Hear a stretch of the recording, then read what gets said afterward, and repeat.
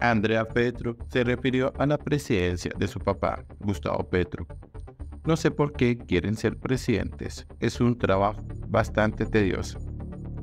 La hija mayor del presidente colombiano señaló que desde la llegada de su padre a la casa de Nariño aumentaron las amenazas contra ella y su familia. Han pasado más de dos años desde la llegada de Gustavo Petro a la presidencia de Colombia y varias personalidades nacionales han manifestado su postura frente a la gestión del actual mandatario. Aunque varios sectores califican que la administración Petro ha entregado buenos resultados, otros consideran que su gestión ha tenido malos resultados, que desde ya se ha conocido la intención de varias figuras públicas para participar en las elecciones presidenciales en el año 2026, especialmente por los dirigentes políticos de línea de derecha. No obstante, desde la figura familiar de Petro también han sentido una presión, ya que consideran que sus vidas dejan de ser privadas y pasan por el escarnio público. Una de ellas es Andrea Petro, una de las hijas del presidente de la República, quien señaló que desde el pasado 7 de agosto de 2022, fecha en la que se posesionó su padre, su vida, así como la de su familia presidencial, dio un giro de 180 grados. Todo ha cambiado negativamente, o sea, todas las personas que sueñan con ser presidentes, no sé por qué quieren ser presidentes, es un trabajo bastante tedioso y aún más para las familias, no, porque hay muchas consecuencias psicológicas sobre esas familias, de ataques, de infamias, de todo. Expresó Andrea Petro en diálogo con Semana. Adicionalmente, la empresaria sostuvo que a raíz de tantos ataques y amenazas contra el mandatario y su familia, decidió radicarse fuera de Colombia y aseguró que es una forma de vida que no inculcaría a sus hijas.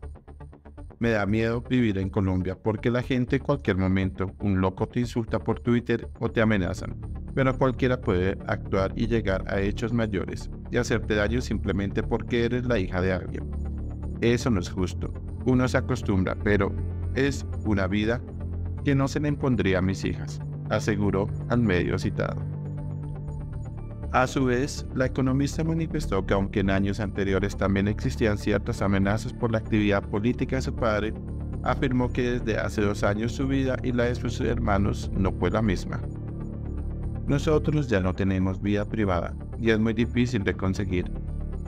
Antes no es que tuviéramos la gran vida privada, siempre hemos tenido escoltas, siempre hemos tenido amenazas de muerte amenazas de atentados, pero es bastante difícil estar en el ojo de la opinión pública, comentó. No existe la reelección en la familia Petro. De igual forma, Andrea Petro indicó que solo espera a que llegue el 7 de agosto de 2026, la fecha en la que Gustavo Petro saldrá de la Casa de Nariño y sostuvo que no estaría dispuesta a otro periodo presidencial de su padre, tal como lo hizo Álvaro Uribe y Juan Manuel Santos cuatro años más así, no.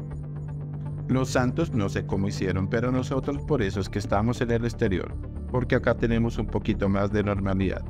La gente nos mira más normal porque tienen los dos puntos de vista. No de ser los hijos de un presidente o de Gustavo Petro, manifestó la hija del presidente quien agregó que una eventual reelección no está contemplada en la agenda de su padre.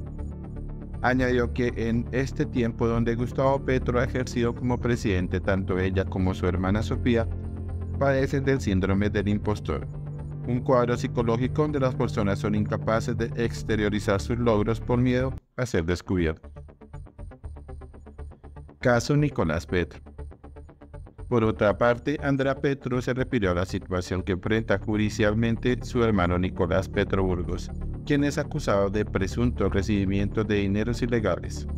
Frente a este caso, la empresaria sostuvo que tuvo un episodio de depresión por más de tres meses, cortando su comunicación con su hermano, y descartó que su padre estuviera involucrado en el proceso que enfrenta Petro Burgos, aunque sintió que él le dio una puñalada al jefe de Estado. A mí me dolió porque fue una puñalada en la espalda a mi papá por todo lo que han hecho, todo lo que han luchado por todos sus discursos de anticorrupción. Él no es una persona corrupta y no sabía de eso, pero siempre está el beneficio de la duda. Y ahí está la justicia y que decía la justicia. Ya el resto, pues se respeta, declaró. No obstante, aseguró que está al tanto en el transcurso del caso y espera que la justicia determine si su hermano es culpable o no. Estoy pendiente de lo que vaya a pasar o no. Es difícil porque yo quiero a mi hermano. Hay cosas que me cuestan todavía creer, pero pues hasta que no lleguemos hasta el final de las cosas lo vamos a saberlo. Puntualizó.